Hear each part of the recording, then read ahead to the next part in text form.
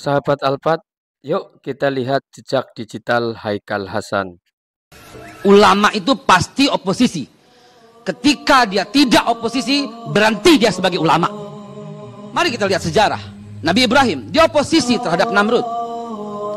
Nabi Musa, dia oposisi terhadap Fir'aun. Nabi yang tidak oposisi sekaligus raja, dia adalah Daud dan Sulaiman. Nabi Isa itu oposisi terhadap Yudas.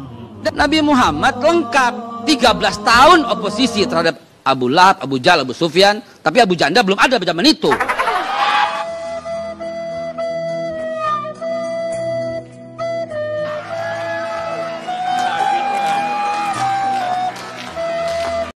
Itu adalah Haikal Hasan saat 2019 saat mendukung Prabowo kalah dan di belakang Prabowo adalah ada ijtima ulama. 2019 memuja-muja ulama karena ada ijtima ulama yang mendukung Prabowo. Tapi beda dengan 2014, bahkan dia mengenyampingkan ulama. Yang menarik dari, kalau dari, dari tadi Babi Haikal ini ngomong kita harus mengantar Pak Prabowo ke ini, Pak Prabowo.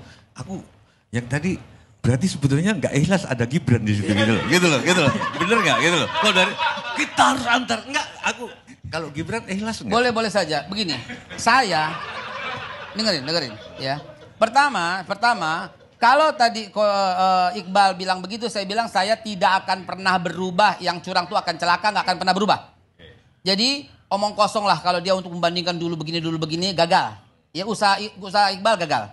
Yang kedua, ya nggak ikhlas soal Gibran.